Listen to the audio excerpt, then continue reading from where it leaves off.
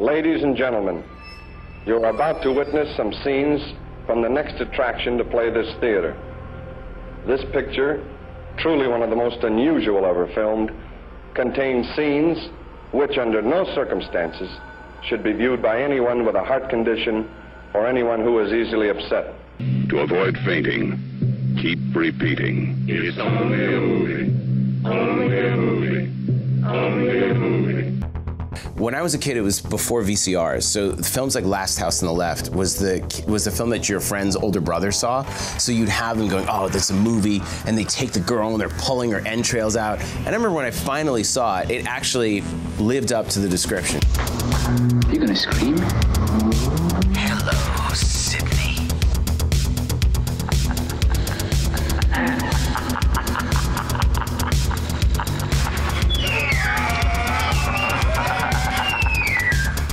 So disturbing. Um, but Nightmare on Elm Street was a film that traumatized me. I remember I saw it on a VCR and I had to pause it, and I think we played Clue for like six hours just to like cleanse ourselves of Elm Street, and then I had to finish it during the day. I was actually too scared to watch the movie.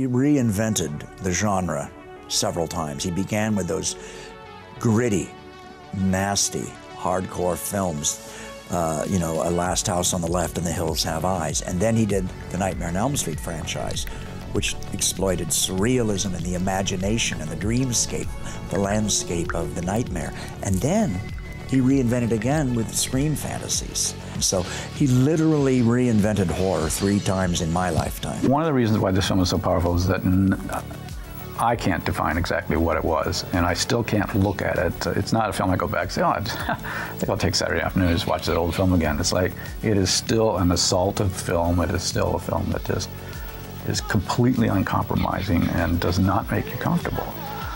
Um, and uh, beyond that, I can't define it. All I know is that I did not have any restrictions on what I shot, except that what I wanted to impose, and I wanted to deal with something very, very um, nasty. You know, it was dealing with anti-personal violence and just how ugly it could be.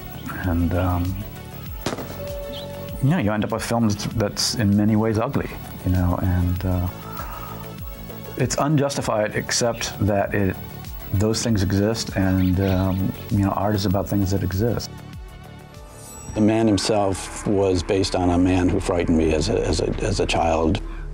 Woke me from my sleep uh, one night shambling down the sidewalk uh, in Cleveland.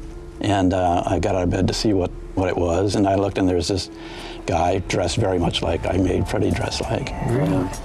I think he was just a random drunk going down the sidewalk, but he had an uncanny ability somehow to realize this little kid was looking down on him from the second story apartment window, and he just stopped, and then he just looked right up at me. And like that, you know.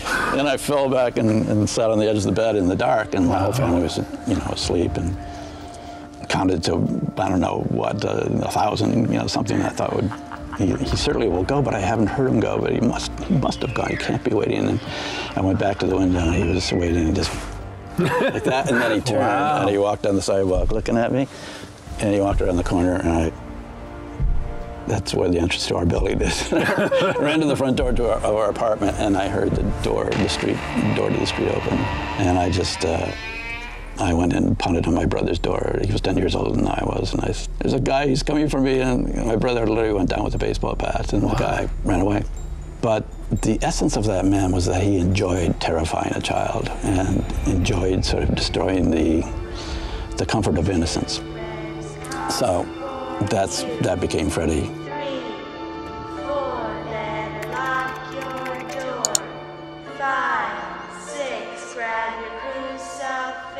He considered horror cinema to be a creative and positive experience. He famously said, horror movies don't create fear, they release fear. As far as he was concerned, watching a horror film was a way of working out your personal demons in a safe space.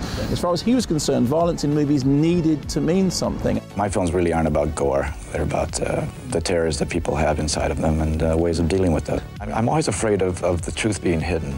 And I think in, quite most cases, horror films have to do with bringing out a truth that's been hidden in our culture. That is, that there's a very violent side to us as well as a, a side that's uh, very civilized. Good appetite. Healthy prince. Secure home.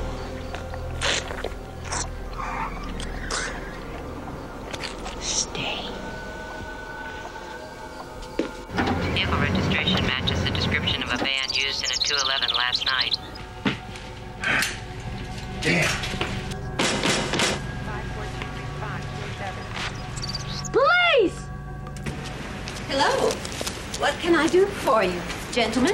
Afternoon, ma'am. Uh, is this your van? Uh, goodness, no. Uh, it was just standing here when we got back from shopping. Did you see anybody around when you pulled in? Trouble? Well, as a matter of fact, we did see a couple of men, one black, one white, walking away as we approached. We thought they were service people of some sort. You know they're working on your door, don't you? No harm done. Uh, we'll check the house. Just checked it, even looked under the beds. Clean as a whistle. Well, let's recon the neighborhood. There's still a chance. You get a lot of this sort of thing? It's as if we're the prisoners and the criminals roam free. I know what you mean. Well, you're lucky you're all right. This van was used in a liquor store robbery last night. Oh, goodness. Liquor store? I'd advise you to stay inside, keep your doors locked for a while. You can count on it. I think a good horror director is talking about, you know, the primal fears, and, and uh, if you want to be honest about talking about those things, you have to get down to the nitty gritty about fear and things people do to each other.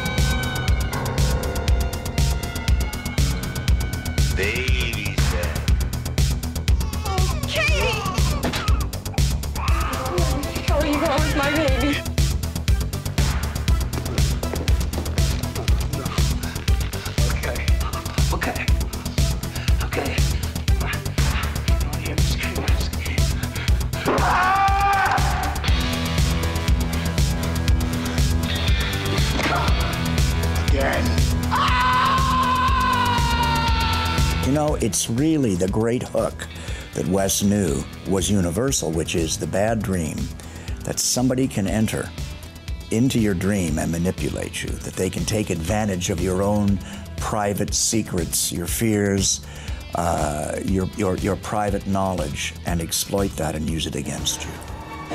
Hmm. Corn syrup. Same stuff they use for pig's blood in Carrie.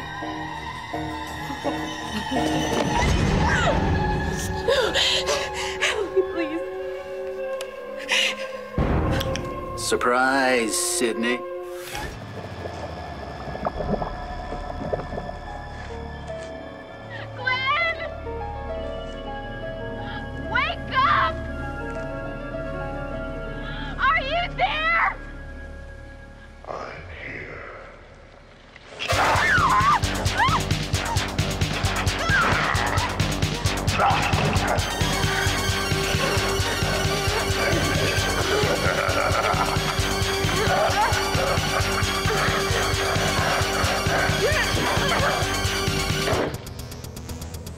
He was a double threat, Larry. He was a writer and a director. So if we had trouble with a scene, he could fix the writing as well as restaging it. This is the moment when the supposedly dead killer comes back to life for one last scare.